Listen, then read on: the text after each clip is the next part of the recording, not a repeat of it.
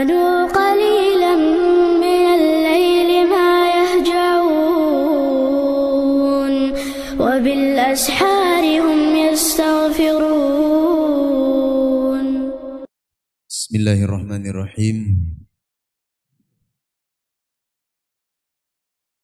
السلام عليكم ورحمة الله وبركاته.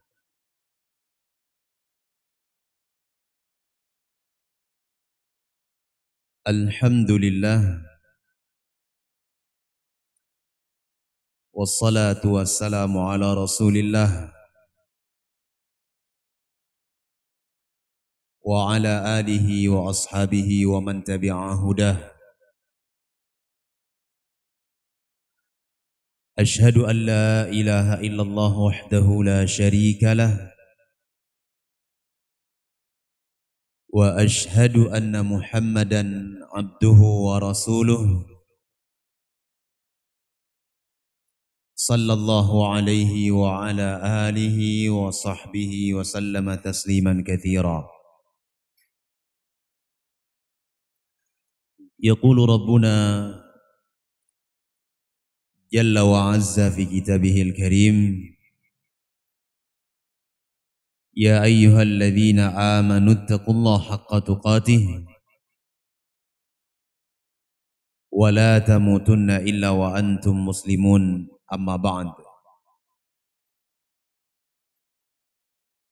حذرين أيها المسلمون جماعة صلاة المغرب. yang dimuliakan oleh Allah Subhanahu wa taala. Alhamdulillah segala puji dan syukur. Selalu dan senantiasa kita panjatkan kepada Allah tabaraka wa taala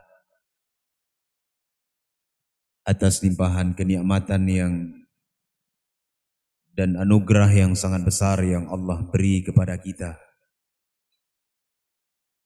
sebuah anugerah besar ketika Allah pertemukan kita di majelis yang mulia ini. Di mana Allah Subhanahu wa taala pertemukan kita di atas sebuah ilmu. Sebuah kajian ilmiah. Dan tidak Allah Subhanahu wa taala pertemukan kita di dalam acara yang sia-sia. Sehingga yang seperti ini patut sekali untuk kita syukuri kepada Allah Subhanahu wa taala. Dan kita memohon kepada Allah Subhanahu wa taala agar pertemuan yang kita adakan ini merupakan sebuah pertemuan yang kita bangun di atas saling cinta mencintai karena Allah sayang, menyayangi karena Allah dengan harapan Allah Subhanahu wa taala akan menurunkan kasih sayang dan kecintaannya untuk kita semuanya. Di dalam hadis yang ma'ruf sering sekali dibacakan diriwayatkan oleh Al-Imam Muslim rahimahullah dari sahabat yang mulia Abu Hurairah radhiyallahu an. Nabi sallallahu alaihi wasallam bersabda, "Inna rajulan zara akhan lahu fi qaryatin ukhra." Bahwa ada seorang pemuda, seorang laki-laki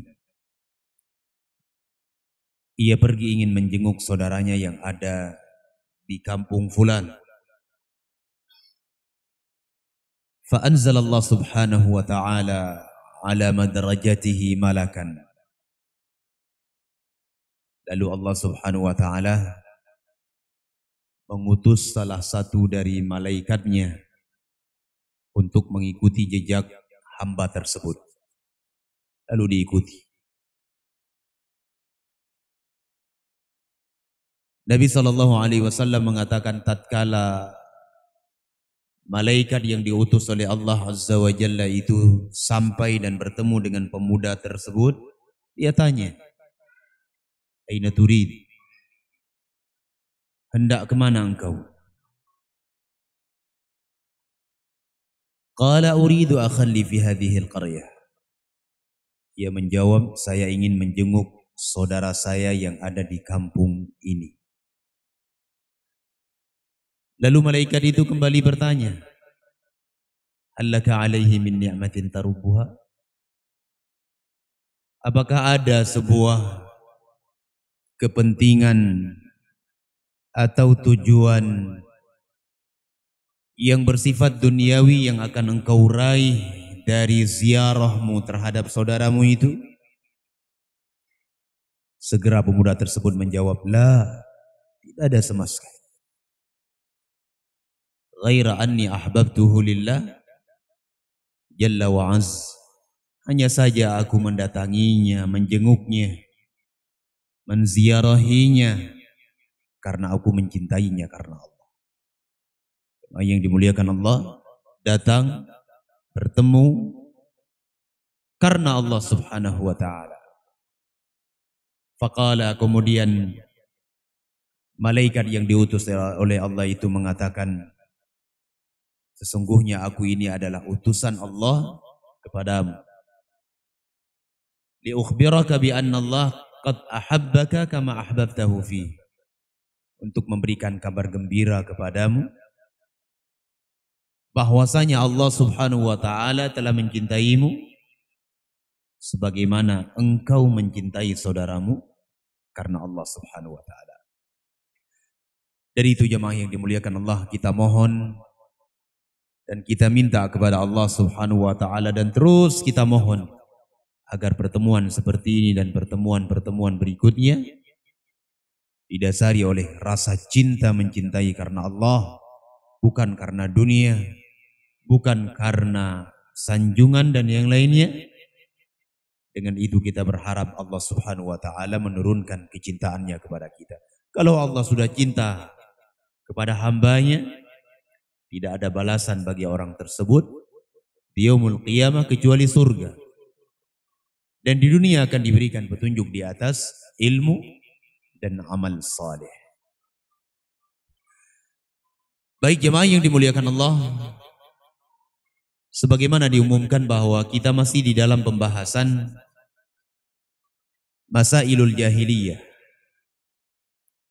Perkara-perkara ataupun kebiasaan orang-orang al-jahiliyah. Dan di setiap kali pengajian kita ingatkan terus jamaah yang dimuliakan Allah. Bahwasanya kita mempelajari ini tujuannya adalah supaya kita terhindari dari sifat-sifat tersebut. Jangan sampai kita yang hari ini mengaku berpegang teguh di atas Al-Quran was sunnah ala fahmi salaf salih di atas pemahaman sahabat Nabi Ridwanullah alaihim justru terkadang dalam keadaan tidak sadar kita terjerumus ke dalam kebiasaan orang-orang al-jahiliyah. Sehingga penting untuk kita kaji. Sehingga kita bisa lepas. Kita bisa selamat. Kita bisa terjauhkan dari keyakinan-keyakinan ataupun kebiasaan yang orang-orang al-jahiliyah dahulu berperangai dengannya. Hadirin jamaah maghrib yang dimuliakan Allah Subhanahu wa taala. Malam hari ini kita akan baca salah satu dari perangai dan kebiasaan orang-orang al-jahiliyah. Ala wa huwa yaitu iqtida'uhum bi fasaqatil ulama wa juhalil ubad. Di antara kebiasaan dan perangai orang-orang al-jahiliyah adalah iqtida'uhum bifasaqatil ulama. Mereka mencontohi ulama-ulama yang fasik dan ahli ibadah, ahli ibadah yang berada di atas kejahilan. kebodohan. Ini sesuatu yang sangat mengakar pada masyarakat jahiliyah waktu itu. Dan hari ini jemaah yang dimuliakan Allah kita lihat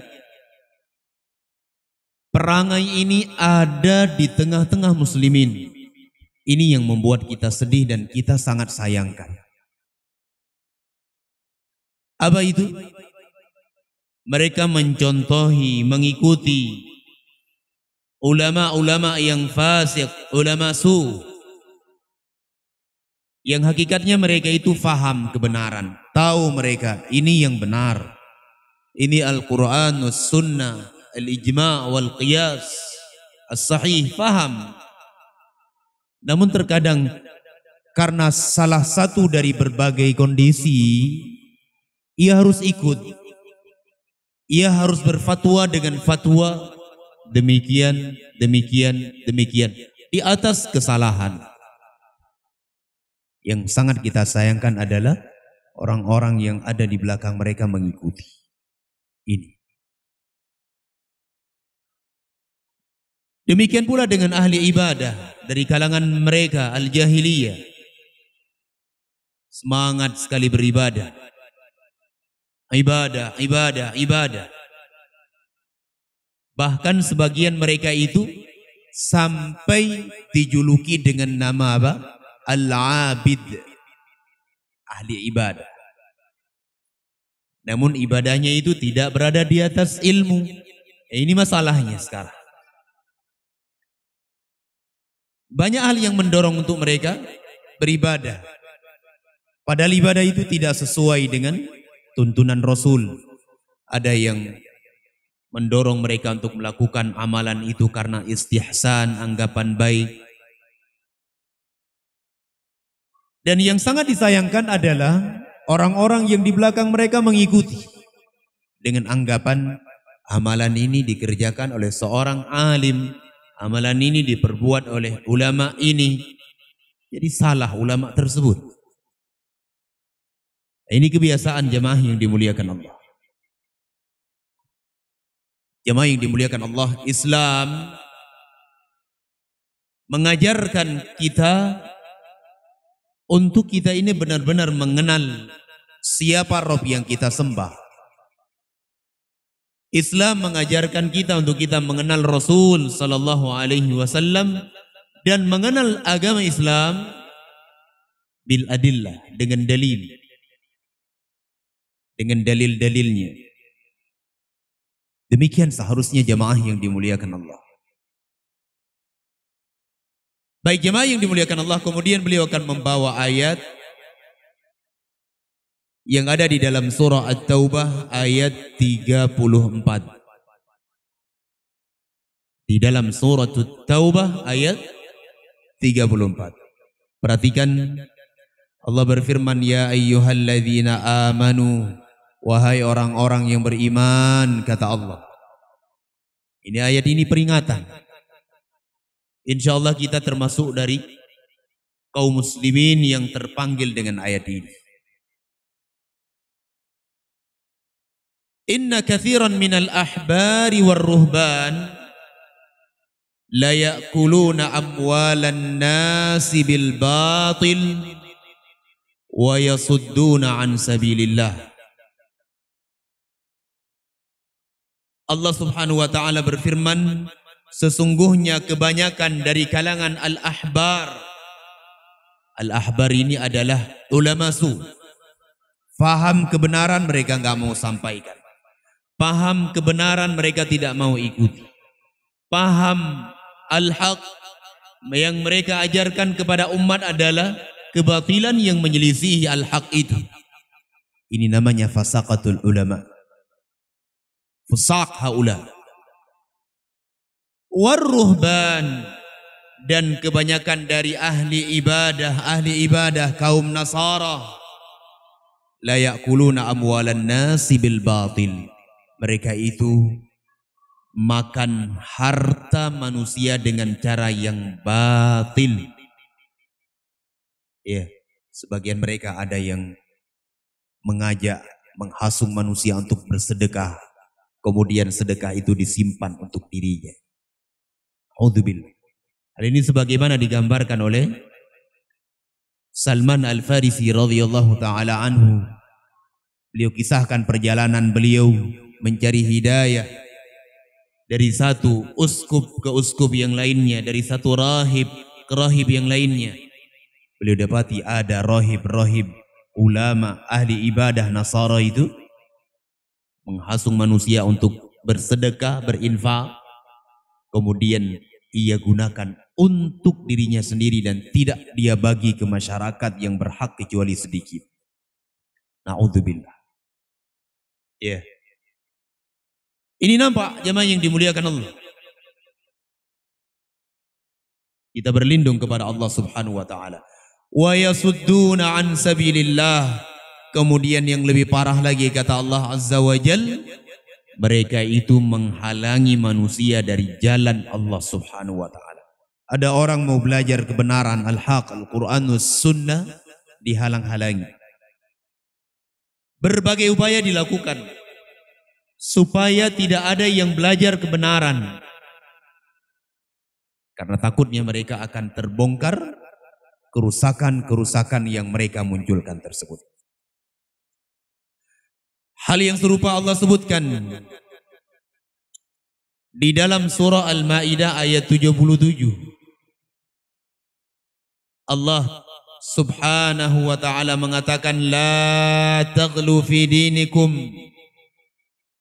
ghairal haqq wa la tattabi'u ahwa'a qaumin qad dhallu wa adallu kathiran wa dhallu an sawa'is sabil Allah ingatkan.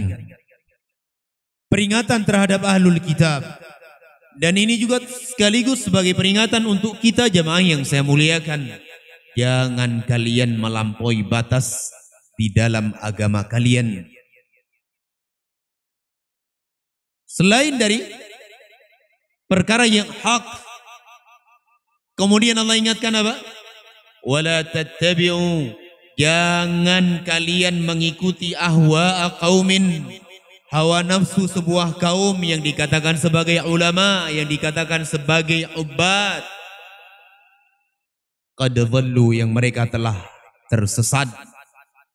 Min qablu sebelum kalian wa adallu kathiran dan mereka telah banyak menyesatkan manusia wa dhallu an sawa'is sabil dan mereka menyimpang dari jalan yang yang benar dari jalan yang lurus. Hadirin yang dimuliakan Allah, di antara kebiasaan dan itu merupakan perangai orang-orang al-jahiliyah adalah al-istidlalu bifasaqatil ulama. Berdalil dengan para ulama yang fasik akidah yang dia bawa seperti ini ketika diluruskan ini akidahnya nggak sesuai dengan akidah Islam. Dia katakan ulama saya yang mengatakan begini. Apa urusannya dengan kalian? Apa salah ulama saya? Ketika diingatkan amalan yang engkau lakukan ini tidak ada contoh dan bimbingan dari Nabi Shallallahu Alaihi Wasallam. Kenapa engkau lakukan? Alim saya yang melakukannya. Ibadah ini dilakukan oleh negeri ini. Bukan cuma melabuh ini yang melakukannya. Hampir semua. Ini salahnya di mana? Ini kebiasaan orang-orang al-jahiliyah jamaah yang dimuliakan Allah. Ya? Sehingga diterangkan oleh para ulama ini merupakan musibah yang hari ini menimpa muslimin. Musibah besar jemaah yang dimuliakan Allah. Ketika muslimin mereka tidak mau kembali kepada bimbingan Al-Quran was sunnah. Yang itu menjadi dasar untuk mereka berakidah, beribadah, bermuamalah, berada, berakhlak. Justru hari ini yang seperti itu ditinggalkan. Ini merupakan kebiasaan al-jahiliyah. Hati-hati. Iya. Di dalam ayat yang lain Allah Subhanahu wa taala berfirman Ittakhadhu ahbarahum wa ruhbanahum arbaban min dunillah Kata Allah Subhanahu wa taala mereka orang-orang al-Yahud wan Nasara itu mereka menjadikan ulama-ulama mereka ahli ibadah dari kalangan mereka arbaban min dunillah sebagai tandingan-tandingan selain Allah Subhanahu wa taala. Bagaimana mereka menjadikan bentuk uh, ulama dan ahli ibadah tersebut sebagai tandingan selain Allah Subhanahu wa taala? Jawabannya adalah ketika mereka mengikuti ulama tersebut di dalam menghalalkan yang haram ataupun mengharamkan yang halal. Yang haram dihalalkan dengan berbagai cara. Dengan berbagai cara jemaah yang dimuliakan Allah.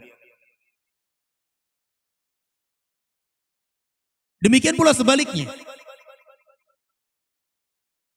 Datang dalam sebuah riwayat ketika Nabi Muhammad sallallahu alaihi wa ala alihi wa sahbihi wasallam beliau membaca ayat ini di depan salah seorang sahabat yang mulia yang bernama Adi bin Hatim radhiyallahu anhu. Nabi sallallahu alaihi wasallam membaca ayat ittakhadhu ahbarahum wa ruhbanahum arbaban min dunillah mereka al-Yahudi wa Nasara itu menjadikan rahib-rahib mereka, menjadikan ruhban mereka itu sebagai tandingan selain Allah subhanahu wa ta'ala. Iya. Lalu Adi bin Hatim mengatakan, Ya Rasulullah, lasna na'buduhum. Wahai Rasul, kami tidak beribadah dahulu kepada rahib-rahib tersebut. Tidak. Kami tidak beribadah kepada ulama-ulama itu dan tidak pula kami menyerahkan ibadah kami kepada ahli ibadah tersebut. Tidak pernah itu terjadi. Apa kata Nabi sallallahu alaihi wasallam? Beliau mengatakan, bukankah ketika ulama kalian menghalalkan yang haram, kalian ikut mengikutinya? Bukankah ketika mereka tersebut mengharamkan sesuatu yang Allah halalkan, kalian mengikutinya? Adi bin Hatim menjawab apa? Bala ya Rasulullah. Tentu wahai Rasulullah. Kata Rasul sallallahu alaihi wasallam, fatilka ibadatuhum. Itulah bentuk peribadatan kalian kepada kepada rahib-rahib tersebut. Ini hari ini munculan bermunculan orang-orang seperti ini. Sudah jelas digariskan di dalam syariat yang namanya riba itu haram. Haram jemaah yang dimuliakan Allah. Datang orang-orang yang katanya sebagai alim ulama dengan berbagai cara kemudian mereka halalkan. Dihalalkan. Oh kalau cara seperti ini ya nggak apa-apa. Ya. Membuat hilah-hilah jemaah yang dimuliakan Allah. Persis seperti apa yang dilakukan oleh orang-orang Yahudi ketika dilarang mereka untuk memancing ikan di hari Sabtu. Dilarang. Karena dilarang, akhirnya mereka apa yang mereka lakukan? Mereka meletakkan jaring ataupun jala di hari Jumat di sore harinya. Dan pada pagi Ahad mereka angkat dan ikannya melimpah. Demikian. Dahulu orang-orang al-Yahud diharamkan kepada mereka untuk makan gaji. Tahu gaji ya? Lemak mungkin bahasa adanya. Lemak kambing, lemak lumo. Ya? Diharamkan. Dipoles oleh mereka. Dibuat menjadi adonan kue. Diolah menjadi makanan yang bervariasi.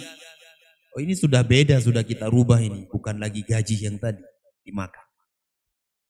Demikian keadaan hari ini jemaah yang dimuliakan Allah. Ah, ini semuanya jemaah yang dimuliakan Allah. Bagian dari umurul jahiliyah. Bagian dari perkara-perkara al-jahiliyah yang sangat-sangat ditantang oleh Nabi Shallallahu Alaihi Wasallam pada waktu itu. Semuanya dihancurkan oleh Nabi Shallallahu Alaihi Wasallam. Beliau mengajak umat untuk kembali kepada Al-Quran, kembali kepada sunnah Nabi. Iya.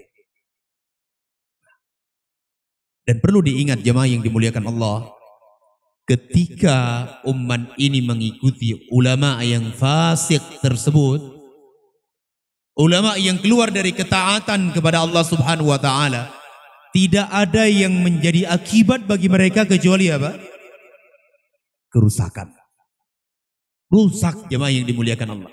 Enggak ada kebaikan sedikit pun, tidak ada kebaikan. Ya, apa saja misalnya. Saya kasih salah satu contoh ketika Islam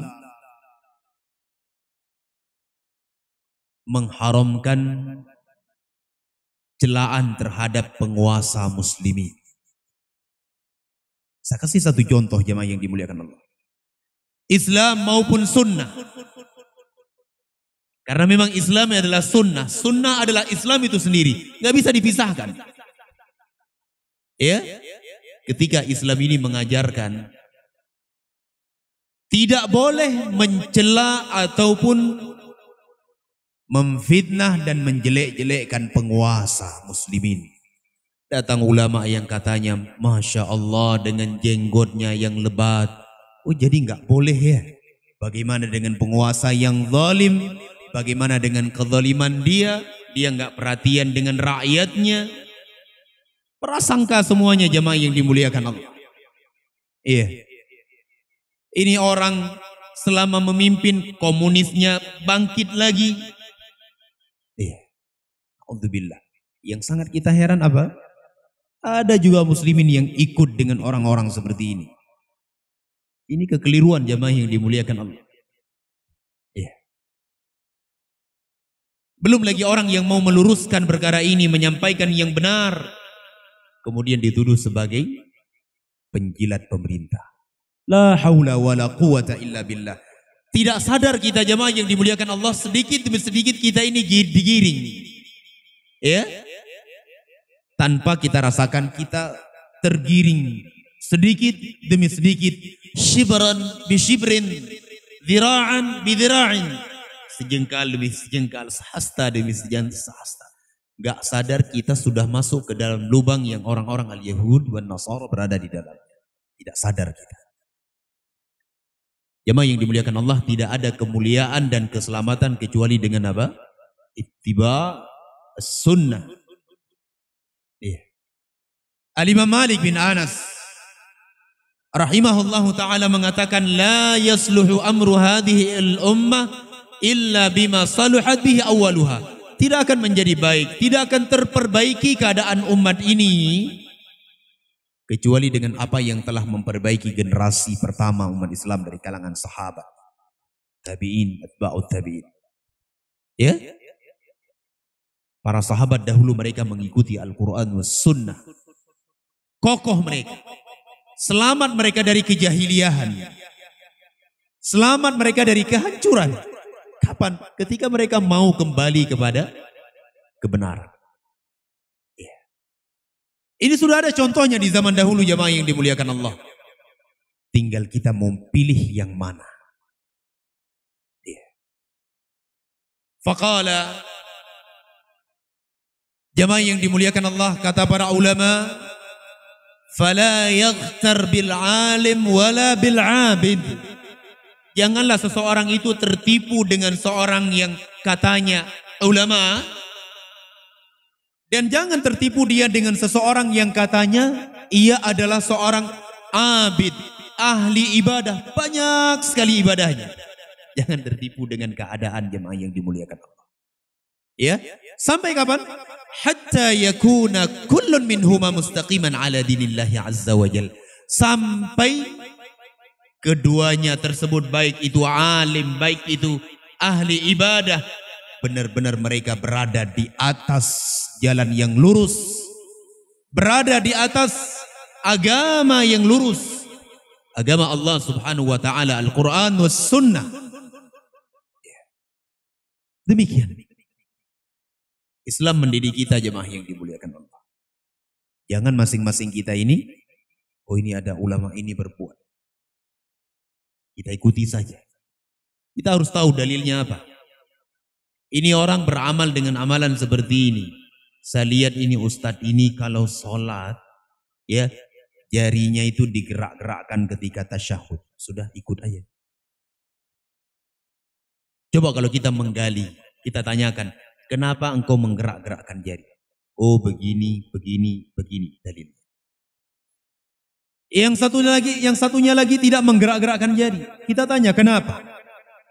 Oh menurut saya hadis ini adalah hadis yang dhaif, hadis yang syadz, ganjil. Karena salah seorang perawinya menyelisihi sekian ulama yang lebih kuat dari dia, tidak meriwayatkan lafaz yang seperti itu. Demikian. Jemaah yang dimuliakan Allah, Allah Subhanahu wa taala sudah ingatkan kita di dalam Al-Qur'anul Karim. Di dalam surat yang semua kita hafal insya Allah. Semua kita hafal. Gak mungkin gak hafal. Allah berfirman di dalam Al-Quranul Karim. Ihdinas siratal mustaqim. Hafal ya? Pasti hafal. Ya Allah tunjukilah kepada kami jalan yang lurus. Siratal ladhina an'amta alaihim. Yaitu jalan orang yang telah berikan engkau berikan nikmat atas mereka dari kalangan para nabi, kalangan para rasul, siddiqin, al-auliya, was-salihin. Lalu kata Allah Subhanahu wa taala, ghairil maghdubi alaihim. Bukan jalan orang yang telah engkau murkai atas mereka ya Allah dan bukan pula jalan adzallin orang-orang yang sesat. Jamaah yang dimuliakan Allah, diterangkan oleh Al-Imam Ibnu Katsir rahimahullahu taala yang dimaksud dengan al-maghdub alaihim di dalam suratul Fatihah ini adalah al-yahud wa man wafaqahum. Coba lihat. Al-Imam Ibnu Katsir mengatakan yang dimaksud dengan al-maghdub alaihim adalah kaum Yahudi dan siapa saja yang sama dengan mereka di dalam cara bersikap. Ya, kalau orang Yahudi mereka bersikap, saya pokoknya ikut ulama. Ulama saya seperti ini saya ikut walaupun menyelisihi. Kalau keadaan dia seperti itu sama dia al-maghdub alaihim. Nah sekarang yang jadi pertanyaan, kenapa orang-orang al-Yahud dan yang semisal dari mereka itu disifati oleh Allah Subhanahu wa taala sebagai al-maghdub alaihim? Jawabannya adalah karena mereka berilmu namun mereka tidak amalkan. Tahu mereka yang ini halal, yang ini haram, yang ini boleh, ini tidak. Ini menyelisih, ini tidak. Tahu mereka itu. Al-Quran aja mereka tahu itu kebenaran. Namun mereka disesatkan oleh Allah subhanahu wa ta'ala. Wa kitabullah baina azhurihim. Disesatkan oleh Allah subhanahu wa ta'ala dalam keadaan kitabullah itu diturunkan kepada mereka. Para nabi sangat banyak Allah utus kepada mereka. Ya. Yeah. Diutus para nabi kepada mereka, diutus para rasul kepada mereka, diturunkan kepada mereka makanan di dalam surga diberi kepada mereka. Sama juga mereka nggak mau mengikuti yang benar, tidak mau amal. Ya. Ketika Allah Subhanahu wa taala katakan Inna Allah ya'murukum an tadhbahu baqarah. Sesungguhnya Allah Subhanahu wa taala perintahkan kalian untuk menyembelih seekor sapi. Mereka mengatakan apa? Mahia wa malaunuha, mahia wa malaunuha. Kan seperti itu. Sapi yang seperti apa? Warnanya apa? Demikian keadaan mereka jemaah yang dimuliakan Allah. Yang anehnya adalah para pengikut-pengikut pembesar mereka itu ikut dan nyaman dengan keadaan apa yang dibawa oleh orang-orang yang menjadi pembesar mereka. Naudzubillah. Lalu Allah Subhanahu wa taala mengatakan waladzallin dan bukan pula jalan orang-orang yang sesat kata Allah. Kata Imam Ibnu Katsir rahimahullahu taala, maksud adzallin di sini adalah an-nasara wa man wafaqahum. Mereka adalah kaum Nasara dan siapa saja yang mencocoki mereka. Kenapa orang-orang Nasara dikatakan sebagai adzallin di dalam ayat ini?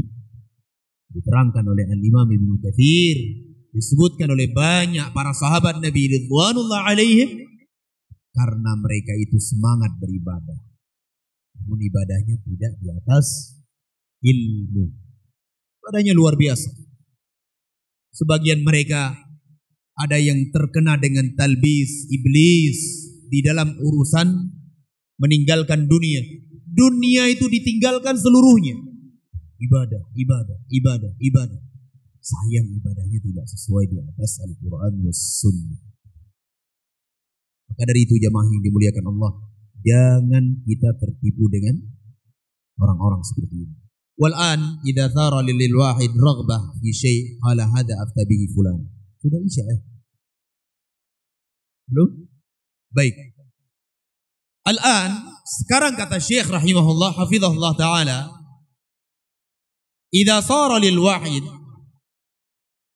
raghbah atau raghbatun fi syai' ketika seseorang ia mendapati rasa suka terhadap sebuah amalan ya dia nggak perlu melihat amalan itu dari mana sumbernya. Diambilnya dari mana? Dari Al-Quran atau Sunnah kalau dari Al-Quran ayatnya di mana penjelasan ulama seperti apa kalau dari Sunnah Hadisnya riwayat siapa? Sahabatnya siapa? Penjelasan ulama seperti apa? Tidak perlu dia lihat seperti itu. Tinggal dia mengatakan apa? Ada aftabihi fulanun. Ini sudah difatwakan oleh fulan ini. Sudah. Jadi kalau sudah syekh ini yang mengatakan berarti sudah benar itu. Kita tidak diajarkan demikian jemaah yang dimuliakan Allah. Duna nazarin ila mustanadi minal kitabi wa sunnah tanpa memandang kepada sumbernya dari Al-Quran wa Sunnah. Tanpa melihat. Taqulu lahu maka hendaknya kita katakan kepada orang seperti ini. Hadihil fatwa khata. Salah fatwa yang seperti ini. Yang benar aja adalah ketika mengikuti Al-Quran dan Sunnah Rasulullah Sallallahu Alaihi wa ala alihi wa sahbihi wasallam. Wa idza saratil fatwa la tuwafiqu hawa Demikian pula ketika ada sebuah fatwa yang tidak sesuai dengan hawa nafsunya, qala hadhihi al-fatwa laysat sahihatan aw mutasyaddidatan. Fatwa ini tidak sahih. Fatwa ini syadid sekali, keras, kaku, tidak sesuai dengan kearifan lokal dan sebagainya. Ini Al-Quran was Sunnah. Dahulu para salaf mengamalkan. Ketika kita jelaskan fatwa yang seperti ini justru dikatakan apa? Ini sangat dahsyat seperti ini. Ini tidak sesuai dengan kearifan lokal di tempat kita. Ini sekarang keadaan ataupun model manusia hari ini. Mengikuti jejak generasi orang-orang al-jahiliyah. Sehingga apa yang terjadi? Yang terjadi adalah sebagaimana Allah subhanahu wa ta'ala sebutkan di awal ayat yang pertama kita baca. Wa yasadduna wa yasudduna an sabilillah mereka itu menghalangi manusia dari jalan Allah Subhanahu wa taala. Ini yang terjadi hari ini turun temurun terus hilang satu generasi muncul generasi yang berikutnya. Kita baru hilang jamaah yang dimuliakan Allah kalau bisa kita katakan satu ataupun dua dua generasi. Sudah seperti ini keadaannya. Nah hari ini kalau kita tidak mau berjuang jamaah yang dimuliakan Allah. Pengajian kita nggak berani menyebarkan kita sebutkan sejarah sembunyi-sembunyi. Sudahlah kita takut. Seperti. Ya, kapan kita mau berdakwah? Kita sampaikan Al-Quran wa Sunnah di mana saja yang namanya kalau ini kita sampaikan kita akan dibenci, kita akan dicaci maki. Itu sudah sunnah Sampaikan apa adanya. Dengan al-hikmah wal mau'izatul hasanah dengan tata cara yang baik sesuai dengan keadaan masyarakat. Kalau dia bisa terima kita sampaikan pada waktu itu. Kalau dia belum bisa terima bisa ditunda sejenak. Namun tidak ada yang namanya istilah kita menyembunyikan. Jangan kita takut jemaah yang dimuliakan Allah. Ya, kemuliaan itu di sisi Allah Subhanahu wa taala. Kita berjuang. Apa yang bisa kita lakukan? Jangan kita tertipu dengan keadaan jemaah yang dimuliakan Allah. Terhenti setahun, dua tahun. Kebatilan itu masuk terus. Terus.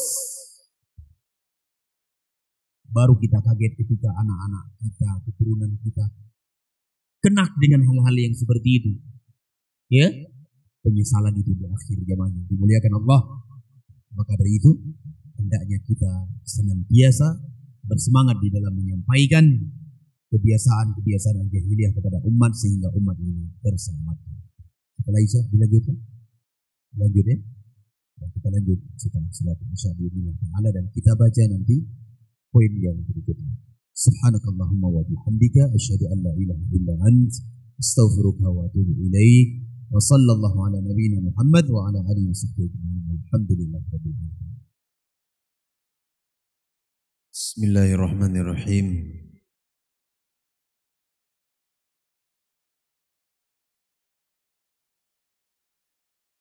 Alhamdulillah. Wassalatu wassalamu ala rasulillah. Wa ala alihi wa ashabihi wa man tabi'a hudah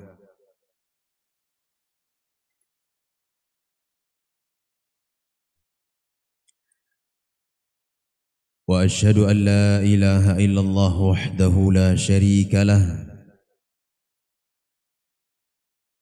إقرارا به وتوحيدا وأشهد أن محمدا عبده ورسوله صلى الله عليه وعلى آله وصحبه وسلم تسليما مزيدا. Ayyuhal hadirun rahimani wa rahimakumullah.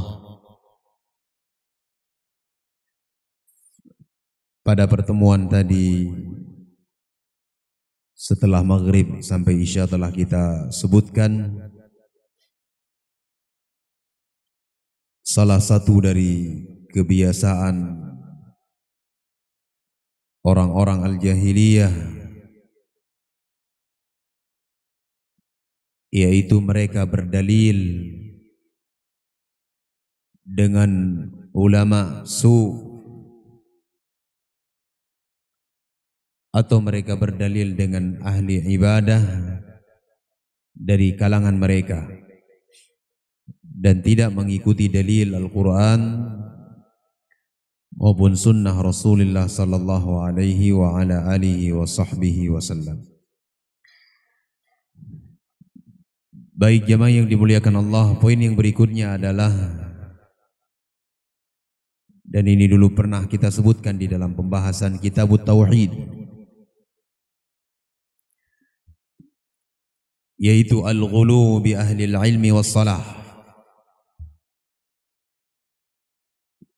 Qala rahimahullahu taala al-mas'alatu tsalitsata 'asharah al-ghulu fil ulama'i was salihin termasuk dari kebiasaan orang-orang al-jahiliyah mereka melampaui batas di dalam menyikapi para ulama dan orang-orang saleh.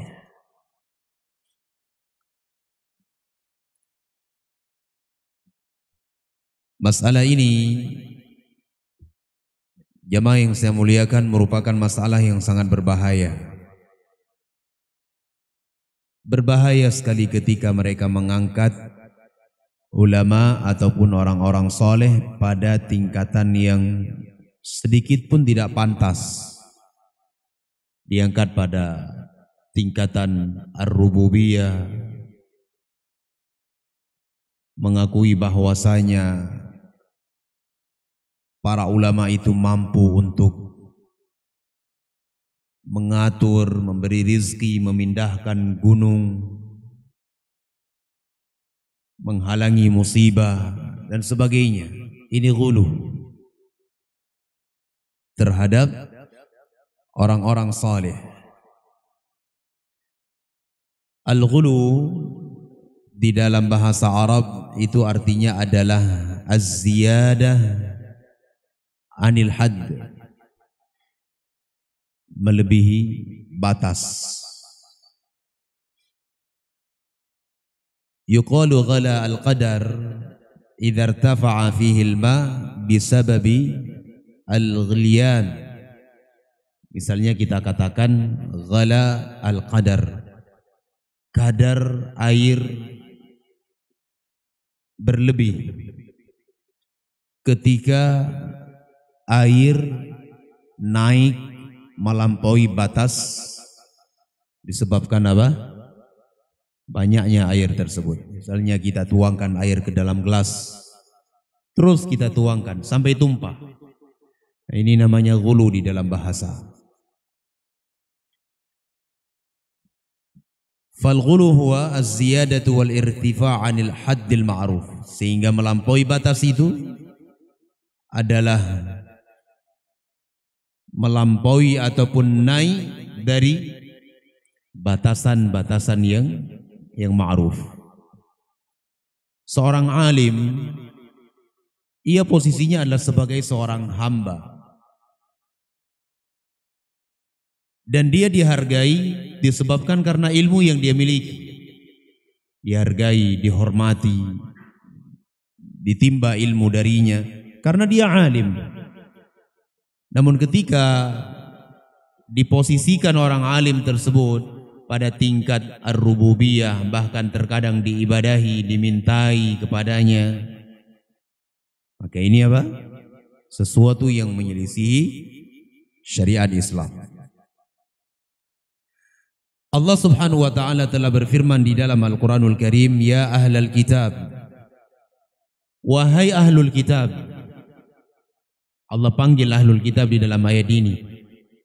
Dan para ulama mengatakan bahwa ayat ini juga ditujukan kepada umat Muhammad sallallahu alaihi wasallam. Kalau seandainya ayat ini khusus terhadap ahlul kitab, apa faidahnya Allah Subhanahu wa taala melarang mereka dari sifat ghulu? Ya ahlul kitab wa ahlul kitab la taghlu fi dinikum. Janganlah kalian melampaui batas di dalam agama kalian. Wala taqulu 'ala Allahi illa al-haq. Dan janganlah kalian mengucapkan atas nama Allah Subhanahu wa taala kecuali kebenaran. Baik jemaah yang dimuliakan Allah, fa'ahlul jahiliyah ghalau fil ashkhas hatta rafa'uhum an qadrihim ila an ja'aluhum arbaban ma'allah kama ghalal yahudu fi Uzair wa qalu huwa ibnullah. Orang-orang al-jahiliyah mereka dahulu melampaui batas terhadap orang-orang soleh di kalangan mereka sampai mereka itu mengangkat orang soleh dari kalangan mereka, ulama mereka pada kadar yang tidak sesuai. Bahkan sampai mereka menjadikan orang soleh tersebut sebagai tandingan selain Allah subhanahu wa ta'ala. Seperti orang-orang al-Yahud mengatakan bahwasanya Uzair adalah ibnullah. Orang-orang Nasara mengatakan bahwasanya Isa bin Maryam adalah anak Allah diangkat oleh mereka dari al-bashariyah dari tingkatan seorang hamba abdun la yu'bad seorang hamba yang tidak boleh untuk diibadahi warisalah dan dari tingkatan kerasulan diangkat oleh mereka pada tingkat apa al-uluhiyah ilah yang disembah ini berbahaya sifat melampaui batas sehingga Allah sebutkan orang-orang al-Yahudu dan Nasara itu menyimpang salah satu sebabnya adalah ini. Salah satu sebabnya adalah melampaui batas di dalam menyikapi orang-orang saleh, di dalam memuji orang saleh.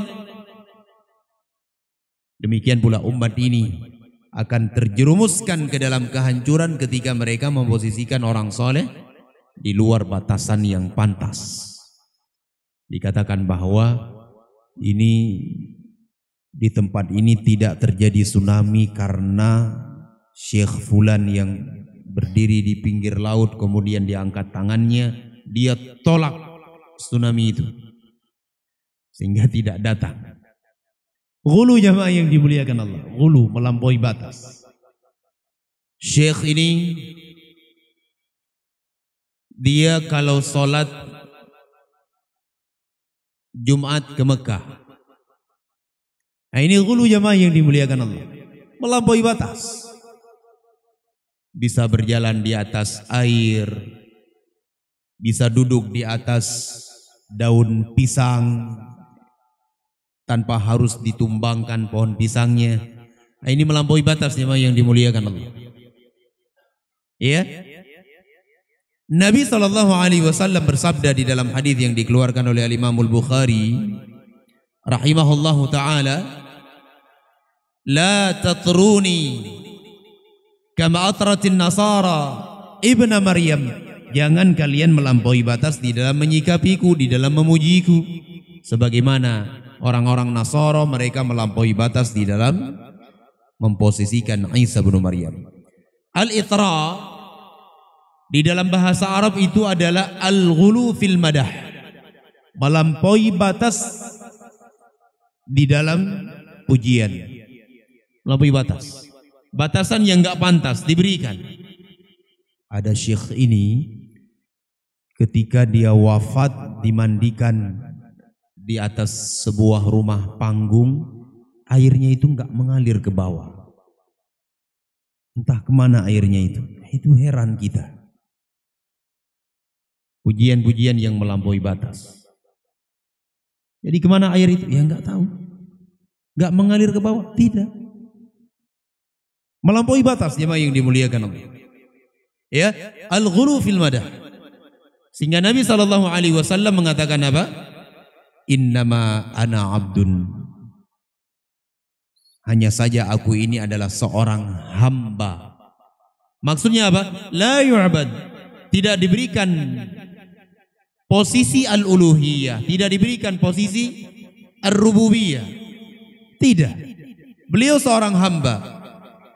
Fakulu kemudian kata Nabi wasallam katakanlah oleh kalian tentangku terhadapku Abdullah wa rasuluh. Aku adalah hamba dan rasulnya. Hamba Allah dan rasulnya. Maksud hamba Allah yang diinginkan oleh Nabi wasallam adalah la yu'bad. Tidak diibadahi, tidak diangkat melampaui batasan-batasan yang pantas dan berhak bagi Nabi. Sedangkan kalimat wa rasuluh aku adalah utusan Allah maksudnya apa? La yukadzab. Tidak didustai. Diterima apa yang dikatakan oleh Rasul sallallahu alaihi wasallam.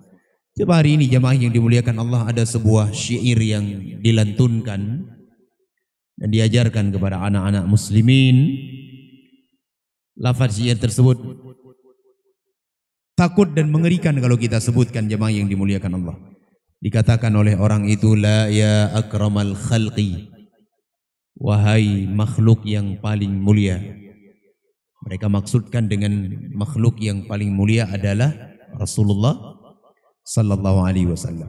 Mali man aludhu bihi tidak ada bagiku siwaka kecuali engkau tidak ada bagiku penolong kecuali engkau wahai Nabi Muhammad inda hududhi al hadathil umami ketika terjadi bencana yang merata. Coba lihat. Berani dia mengatakan wahai Rasul, wahai makhluk yang paling mulia tidak ada bagi kami penolong.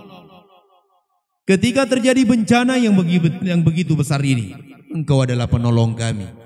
Rasul sallallahu alaihi wasallam sudah wafat. Lalu di mana mereka posisikan Allah Subhanahu wa taala? Nah, ini sikap ghulu. Jemaah yang dimuliakan Allah, kata Nabi sallallahu alaihi wasallam, "Iyyakum wal ghuluwa." Hati-hati kalian dengan sifat ghulu melampaui batas. Fa inna ma ahlakal ladzina min qablikum Al-ghulu dikarenakan perkara yang telah membinasakan orang-orang sebelum kalian adalah sifat sikap melampaui batas. Binasa mereka, hancur mereka, diturunkan azab oleh Allah Subhanahu wa taala. Melampaui batas di dalam menyikapi orang-orang saleh. Maka dari itu jamaah yang dimuliakan Allah, orang-orang al-jahiliyah mereka itu melampaui batas di dalam menyikapi orang-orang saleh. Sehingga dibasmi dan diperangi oleh Rasulullah sallallahu alaihi wasallam. Namun apa yang telah dihancurkan oleh Nabi sallallahu alaihi wasallam itu sekarang sudah mulai dimunculkan lagi. Dimunculkan lagi. Dan itu merupakan sebab terjatuhnya mereka ke dalam perkara syirik. Iya. Akhirnya apa yang terjadi? Kesyirikan. Coba lihat di toko-toko itu. Itu mesti ada gambar ulama. Salah satu tujuannya apa? Supaya laris. Ini melampaui batas. Dengan ada foto ini, dagangan kita akan laris. Melampaui batas di dalam menyikapi orang-orang soleh sehingga membuat mereka itu terjatuh ke dalam ke dalam kehancuran. Wallahu taala alam bisawab. Ini mungkin yang bisa kita sampaikan terkait tentang permasalahan al-ghulu ataupun dua kebiasaan orang-orang al-jahiliyah yang kita lihat hari ini masih sangat mengakar di tengah-tengah kaum muslimin. Baik, malam ini tidak ada pertanyaan. Ya? Baik, kalau tidak ada kita akhiri sampai di sini. InsyaAllah kita lanjutkan pada pertemuan yang akan datang biidnillah ta'ala. Naktafi bihada subhanakallahumma wa bihamdik. Asyadu an la ilaha illa anta astaghfiruka wa atubu ilaih. Wa sallallahu ala nabina Muhammad wa ala alihi wa ashabi ajma'in. Walhamdulillahi rabbil alamin. Assalamualaikum warahmatullahi wabarakatuh.